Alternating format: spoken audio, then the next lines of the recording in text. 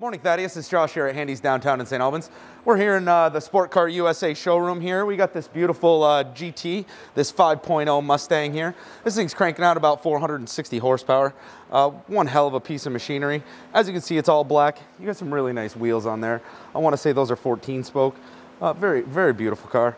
Nothing really of any imperfection on this thing. Very, very clean. Has about uh, 12,000 miles on this thing. If you come inside here, you'll see you have your uh, black leather interior. They did a good job. They put a nice little Mustang in these seats. Nice little accent piece there to kind of make it pop and let you know, hey, you are in the seat a, a Ford Mustang. Of course, it's got the six-speed manual transmission. Beautiful, beautiful car. You got your racing tires on this thing. This thing sounds very, very mean when you start it up. If you just kind of take a little walk around the back of this thing, we'll see that uh, the back end looks very clean too. Doesn't look like uh, been a whole lot of road damage to this thing, as you can see.